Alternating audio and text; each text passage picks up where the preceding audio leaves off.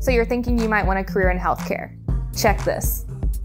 Get paid to train as a surgical neurophysiologist. That's right, paid. Classes in session. Meet your classmates. Attend live lectures. OR simulation. Learn anatomy, neurology, electrophysiology. Get stuck. Ping your instructor. Ask a mentor. Collaborate. Find the answer. Keep going. Get some sleep. Wake up. Get dressed. Watch someone read a PowerPoint.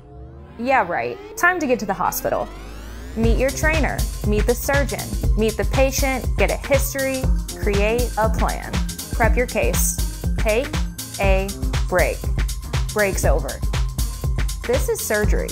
Place electrodes, read your baselines, optimize responses, identify waveform changes, Hey doc, we have a change.